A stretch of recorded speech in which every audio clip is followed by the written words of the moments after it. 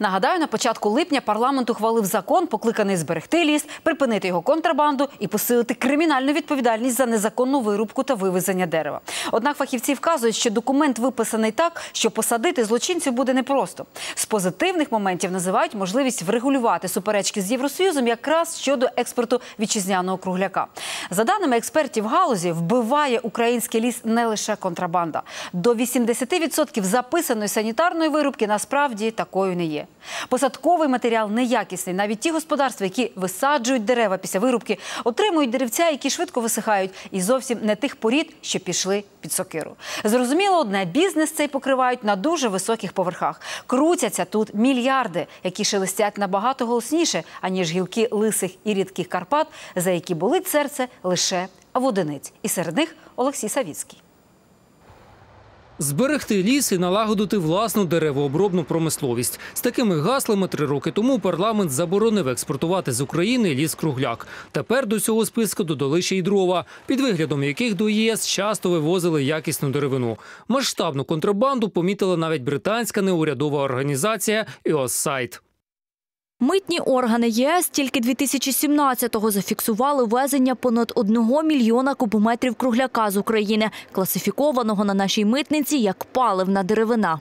Як ідеться у доповіді організації, з України до ЄС імпортується більше незаконної деревини, ніж з будь-якої іншої країни. Причому серед покупців цієї деревини три найбільші виробники дерев'яних панелей у світі та найбільша паперова компанія. За даними британців, за чотири роки експорт українського лісу до країн ЄС зріс на 75%. Вітчизняні фахівці таку статистику пояснюють просто: продавати ліс за кордон вигідно. Торік на кругляку, попри заборону, вторгували понад мільярд євро. Ціна експорту, ціна наскільки ви можете продати цей ліс е, в Євросоюзі, вона настільки приваблива, що який би ви закон не приймали, ви все рівно ви його будете там розпилювати, воно буде набувати інших форм, але ви все рівно все рівно його будуть вес- вести. Нині нардепи зробили ще одну спробу приборкати лісову мафію і проголосували за посилення відповідальності за контрабанду. Тепер за перевезення необроблених лісоматеріалів каратимуть не лише конфіскацією, будуть і великі штрафи, і навіть ув'язнення. Вивозиш е, незаконно за кордон ліс-кругляк,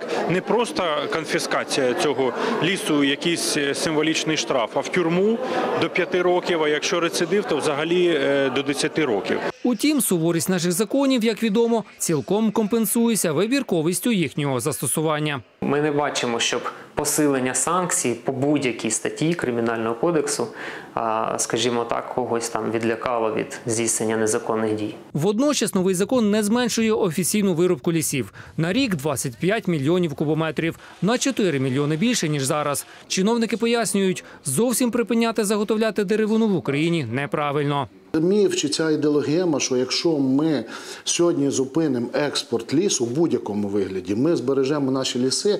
Ну це кимось придумана е, фішка, яка насправді ніякого відношення до реальної ситуації не має. Заборона вивозу тої чи іншої сировини ніякою мірою не регулює е, сам відсоток виробок лісу. Скільки лісу нині рубають незаконно, невідомо. За даними лісагентства, не більше 25 тисяч кубометрів на рік, тобто одну тисячну від офіційної квоти. Але британські фахівці та українські активісти переконують, нелегально вирубують 70% лісу. Ліс вивозять, крадуть і вивозять, крадуть наше багатство. І зрізають горами його. А це все наші гроші.